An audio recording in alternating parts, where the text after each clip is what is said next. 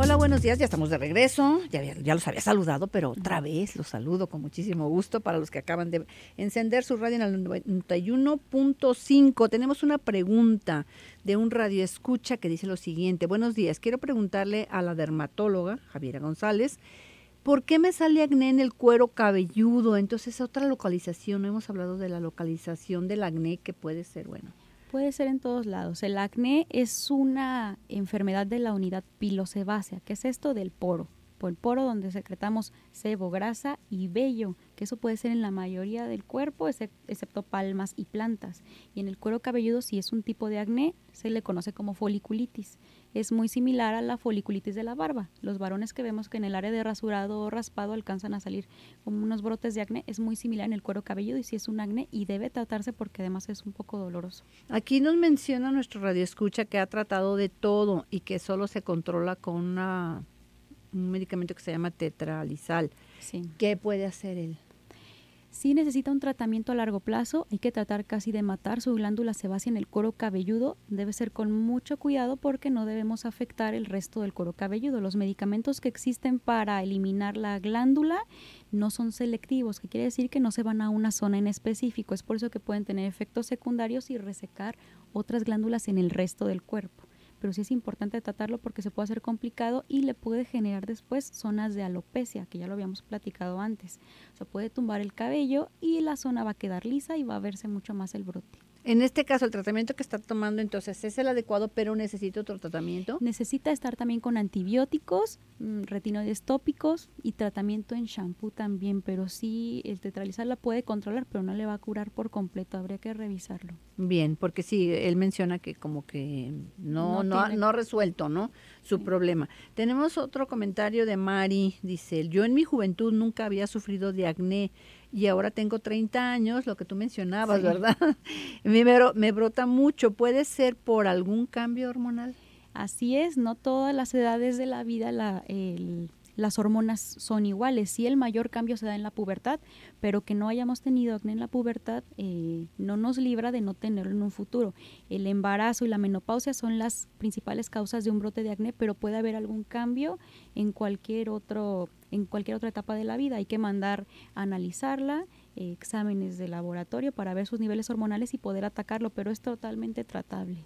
Eh, preguntaba que si existen estudios que te puedan orientar para ver si se debe a un cambio hormonal. Si no es un cambio hormonal, ¿a qué se podría deber? El acné puede ser medicamentoso, eh, alimentario tendría que ser de verdad una mala alimentación. El mito de que si tomo chocolate, cacahuates, no me va a causar acné. Si ya tengo una presencia de acné y quizá mi alimentación es muy mala, sí me lo pudiera agravar, pero eso no es la causa. Principalmente es hormonal.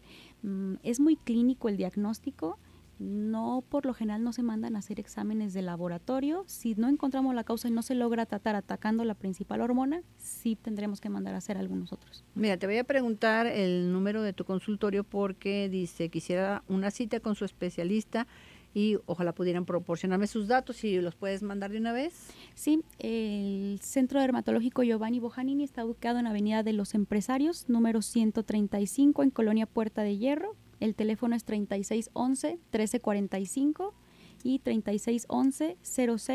3611-0678. Bien, le estoy mandando uno nada más. Buenos días. Las marcas de la cara de las secuelas de la varicela se pueden quitar. Mi nombre es Vicky y tengo 13 años, pues estás muy jovencita ay Dios, si, si tiene 13 años hay que ver las marcas y sí, si está chica pueden tratarse. Es muy difícil quitar una cicatriz, pero se puede difuminar. Son tal cual como las estrías, es de lo más difícil de quitar en la piel, pero podemos difuminarlas y por su edad yo creo que no tiene muchos años de aparición, así es que pudiéramos difuminarlas muy bien. Bien, en relación entonces a la topografía, en el lugar donde se presenta, puede presentarse entonces en lo que es la cara, obviamente, que es lo principal. Los lugares más comunes son las de mayor eh, secreción sebácea, que es el coro cabelludo, la cara, la espalda, el pecho y la zona de los glúteos. Muy severo que se presenta más en espalda y glúteos es severo. Y muy incómodo también, me imagino. Bueno, tenemos otro comentario. Buenos días, eh, mi nombre es Ulises. ¿Qué se necesita para cerrar los poros de la piel?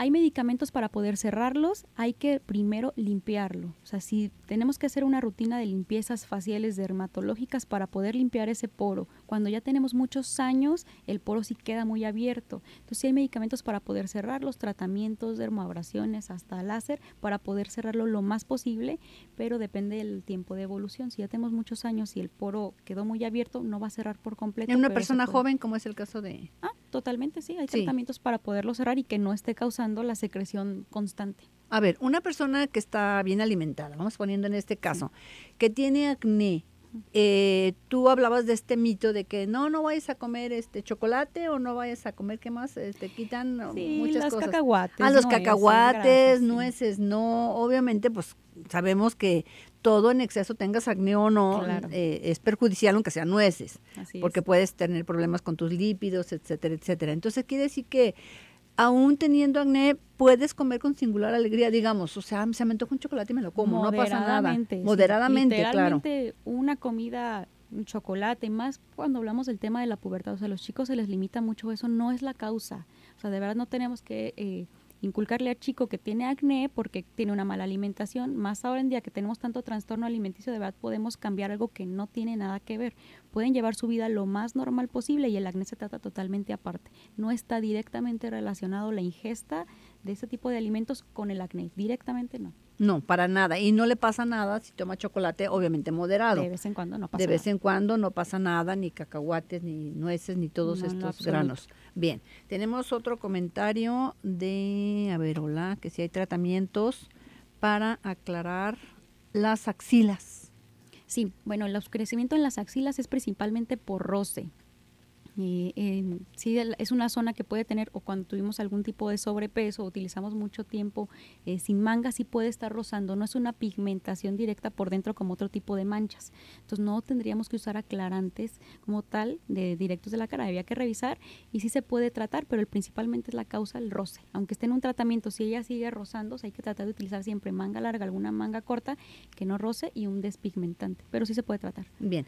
Eh, otro comentario de Jorge Eduardo, tiene 40 años. Quisiera preguntarle a la dermatóloga, a mí me salen como un tipo de accesos de grasa en mi abdomen.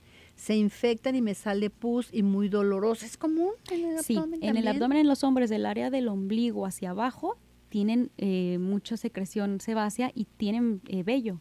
Eso es lo que nos ocasiona el acné. Todas las zonas del cuerpo que tengan vello y algún poro va a poder ocasionar acné.